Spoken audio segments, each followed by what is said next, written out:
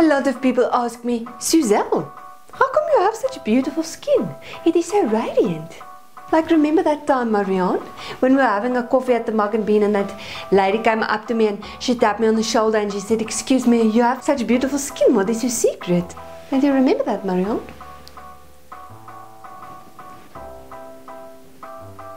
That is why today's episode is how to make an avocado face mask.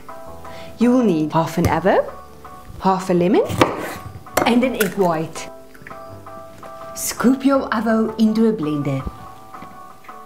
Squeeze in your lemon. And finally your egg white. We are ready to blend.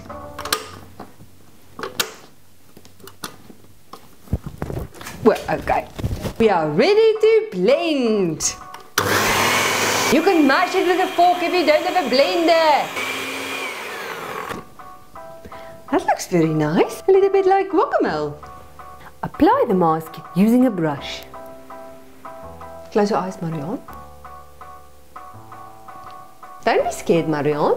Avocado is very good for you because it is filled with nutrients and vitamins and oils, which is why, close your eyes, Marianne, which is why it is very good for you because I've noticed that your skin is very dry. Shine. And there you have it, a lovely avocado face mask.